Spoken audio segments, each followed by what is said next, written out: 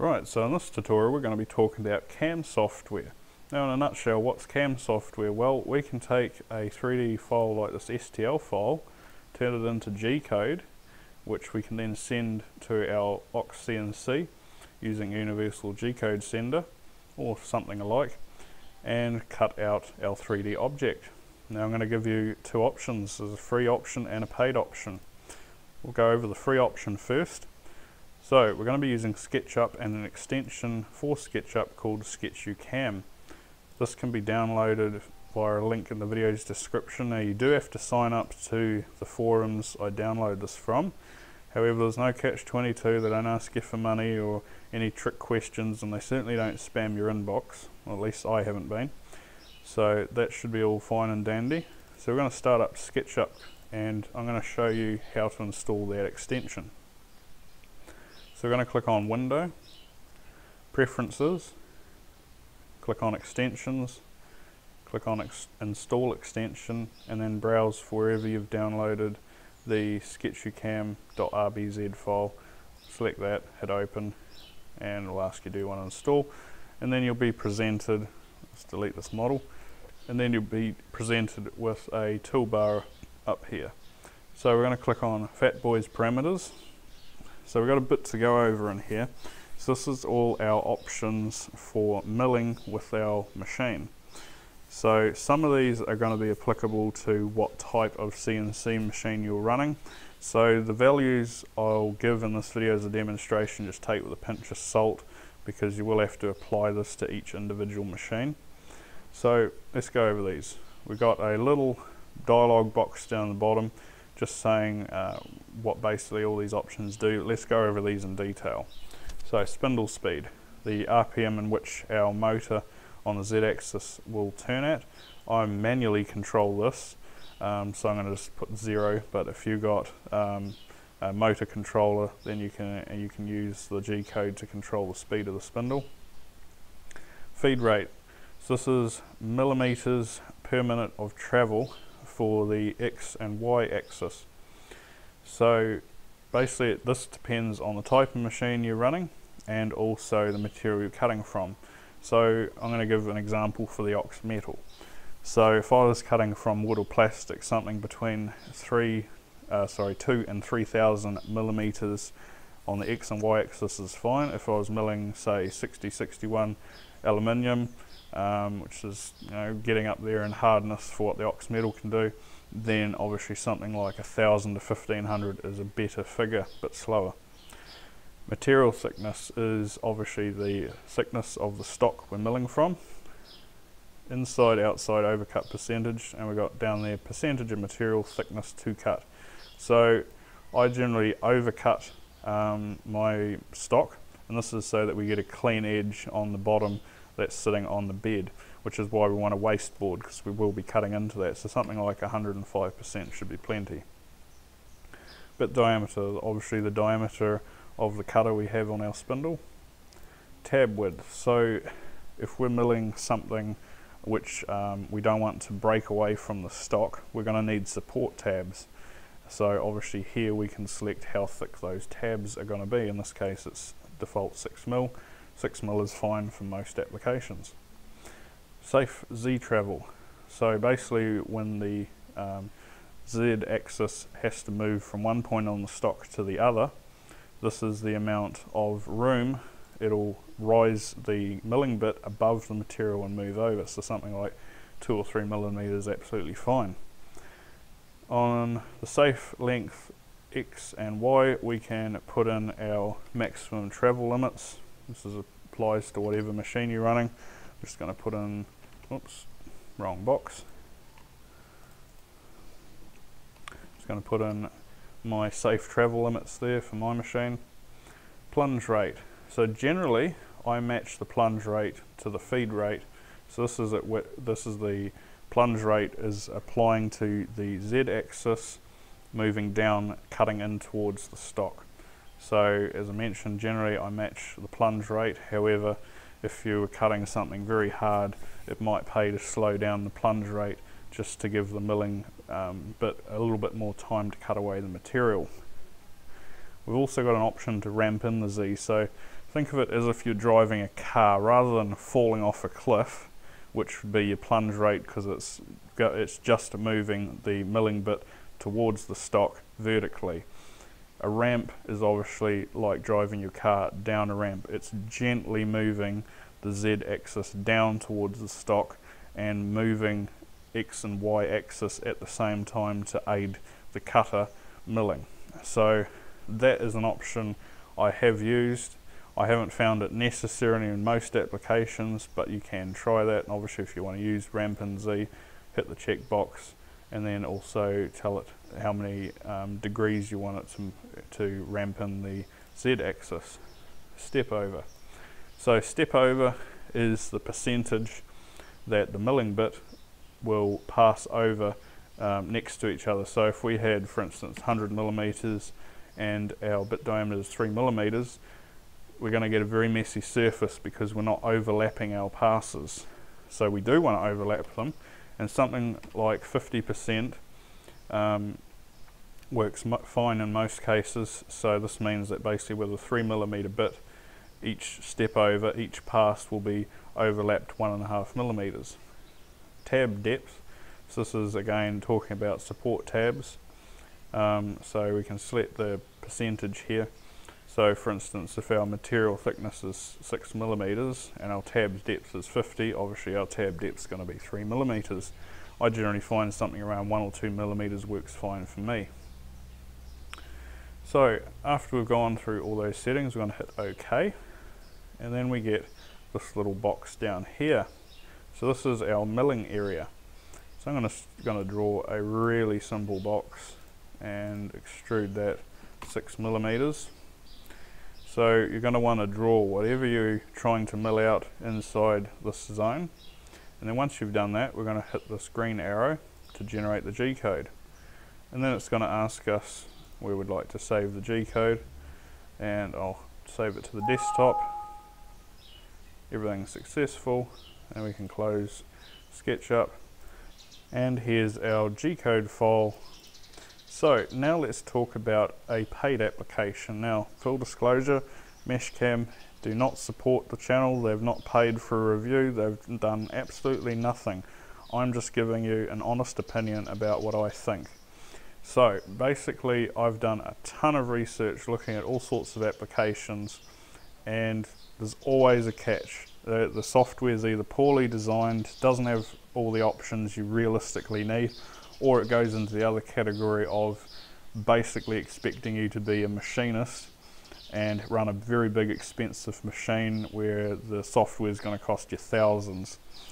Meshcam does bridge this gap. It's cheap enough for the home gamer and it also offers a great variety of options. And best of all, there's a 14 day trial which I'm obviously running right here so that you can evaluate Meshcam and see if you like it yourself. So what I'm going to do is drag and drop my STL file into Meshcam and it's going to ask us what sort of operation we want to run. For this we're going to select 3 axis and you can see we've got our 3D object and we've also got a white box perimeter around the object. So this is the white box represents the stock we're milling from and then obviously the yellow item is our object we're trying to mill out.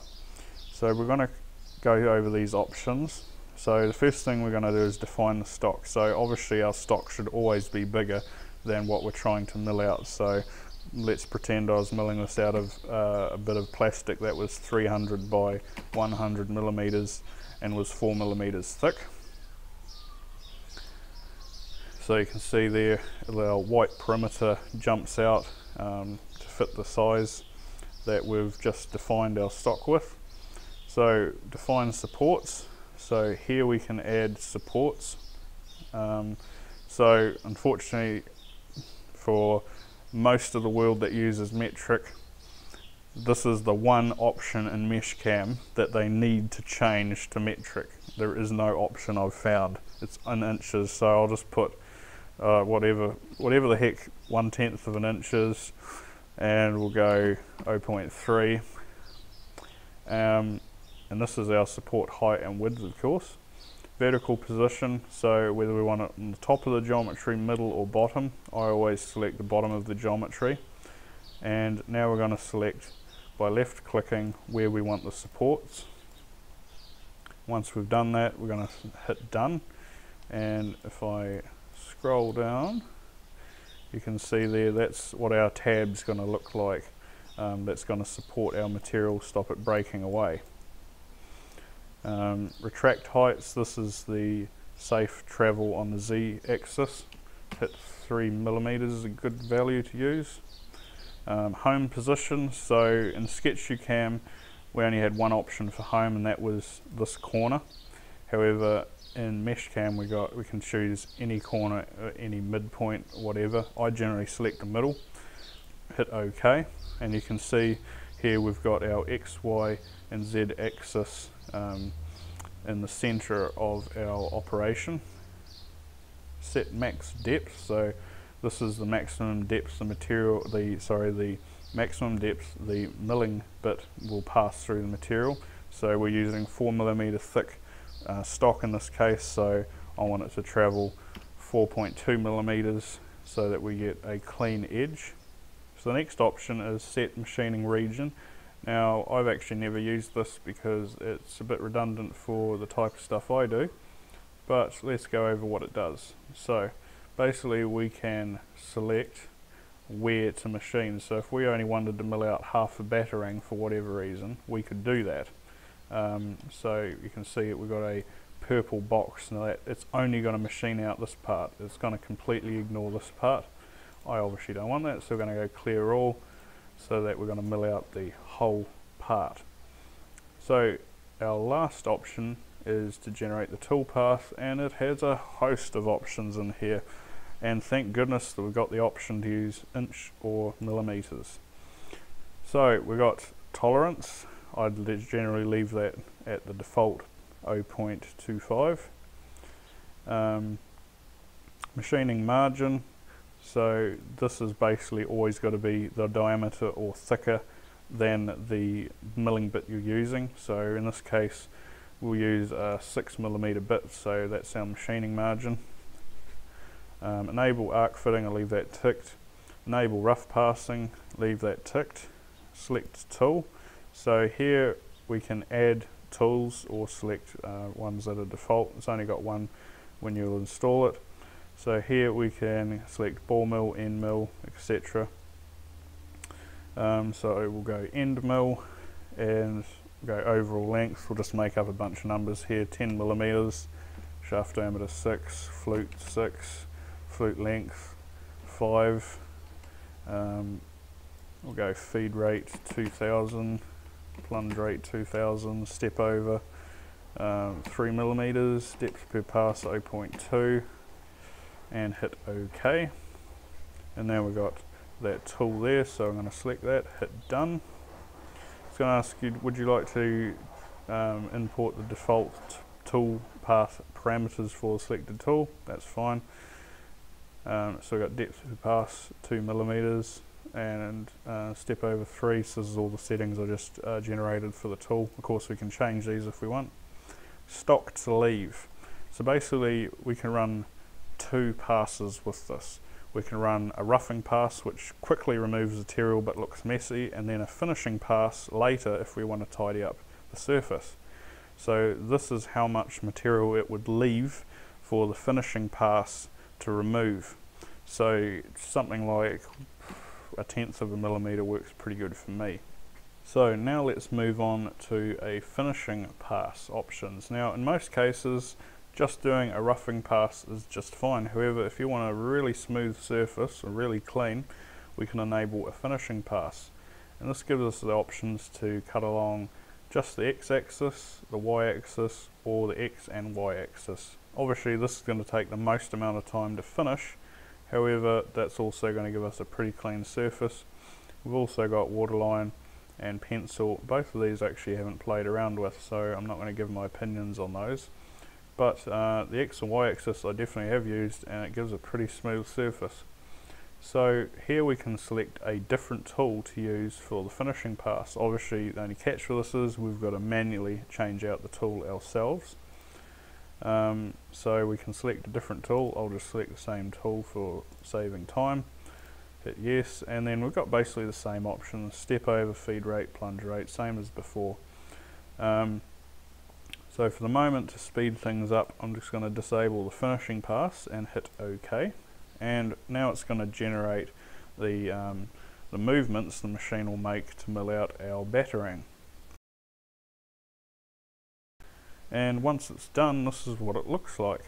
So we've got basically a bunch of green lines which indicate how the tool is going to be moved across our stock to mill out the batarang. So provided it all looks okay to you, um, we can select Save Toolpath. Um, we can also select uh, Estimate Machining Time, um, Estimate Cutting Time 20 minutes. Note, estimated time does not account for acceleration, tool change, etc. Generally, uh, it's no criticism of the manufacturer, but generally this is way off by sometimes as much as I've had parts estimated 15 minutes and it's taken an hour and a half. So don't go by that too much. It is hard to estimate, so it's not a criticism. Um, save toolpath now, and here we can select a whole bunch of options of how to save the G-code. But for universal G-code sender, we can just select basics G, G-code millimeters arc. And we're going to save that to the desktop, and I'll just put bat G-code. And then we'll save that and here's our G-code we just created. So let's give a quick look in Universal G-code sender at how we would send this G-code. So we'd go to File Mode, Browse, we'd select the G-code we just created, hit Open, and we can also hit Visualize so that we get another perspective of how the um, operation is going to take place and this yellow rod represents the machining bit. So that about wraps it up for CAM software. I hope you're a few steps closer now to getting your first parts milled out on your CNC mill.